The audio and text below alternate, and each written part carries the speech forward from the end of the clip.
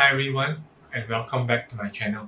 So today we're going to do an unboxing and review of this Qwiizlab USB hub. The Qwiizlab USB hub to go with my M2 Mac Mini which I did a review which I'll put above.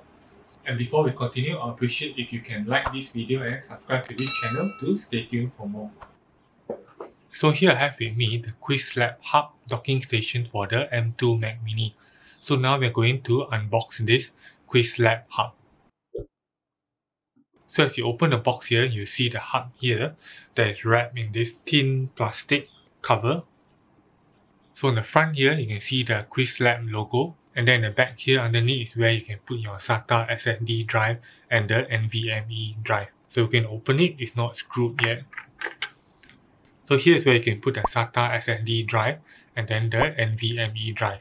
So in this box underneath here, it comes with two cables one is the USB-C to USB-C cable to connect the hub to the Mac Mini M2. And then this other cable is the USB-C to USB-A port. So here is the quick start guide. It shows here how to connect the cables and then also how to connect the drives under the hub. And then also in the box here, in this packaging, it comes with some screws and rubbers and screwdrivers to connect the SSD drive and NVMe drive to the hub. So now we're going to put in the NVMe. So as you see here, there's a small screw here. We're going to take it out. This is to tighten the NVMe drive. So we're going to put it here so that we don't lose it. And then this NVMe drive here. So you see the slot here is supposed to go in exactly. So we're going to put it in. So I've slot in the NVMe. And with this small screw here, in. This will help to tighten the NVMe inside. And now it's tightened. So here I have the SATA SSD drive. So now we're going to install the SATA SSD drive into the hub here. So here you're going to put in the SATA SSD drive. So we're going to slot it in So as you can see here, the SATA is connected. Then with the Qwiizlab, it comes with two foams here, which we are going to stick under the cover.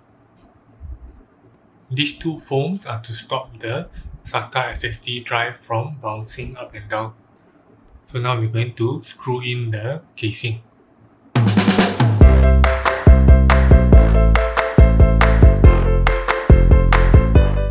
So here's the Qwiizlab hub so as you can see here at the back of the hub, there's two ports.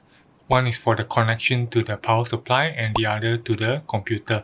So for the power supply, the, the voltage is 5W, 12W and 20W. And then the other is for the computer connection. And then the front here, we have six ports. Three for the USB-A, one for micro SD and the SD cards, and then the other for the USB-C 3.1. So now we're at the back of the M2 Mac Mini and the Qwiizlab hub. So there are two connections. One is for the computer and the other here is for the power supply. So we're going to connect the power supply first. So the connection has to be from a USB-C to USB-A port. So here I've already connected the USB-A to the Mac Mini. So now we're going to connect to the Qwiizlab here.